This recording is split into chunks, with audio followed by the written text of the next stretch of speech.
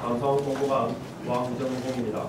그럼 지금부터 상황 보고가 지연되거나 사건 발생 시간 및 사고 원인 등과 관련된 중요 사항이 누락 또는 왜곡 보도되어 상부에 보고되었습니다.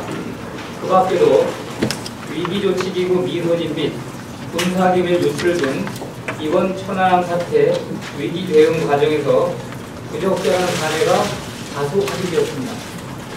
감사 결과 확인된 문제점 중 우선 처리가 필요한 사항들은 6월 8일 감사위원회에서 의결되었습니다. 이에 따라 국방부 장관으로 하여금 관련자에 대하여 군 인사법 등에 따른 징계 등 적정한 조치를 하도록 6월 9일 국방부에 통보하였습니다.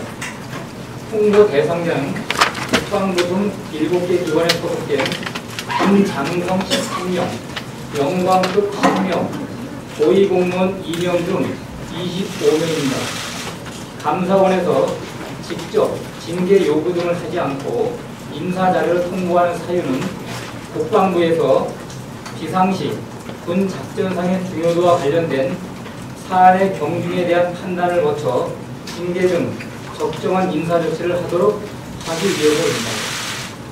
한편 이번 감사 과정에 제기된 유사시 군 지휘보고 체계 정비, 부족 활동 시스템 보완 등 제도 개선 사항과 그 밖의 문제점에 대해서는 전문가 자문과 심층적인 분석을 거쳐 개선 방안 등을 마련하여 조속한 시일 내에 국방부 등 관계기관에 홍보할 예정입니다.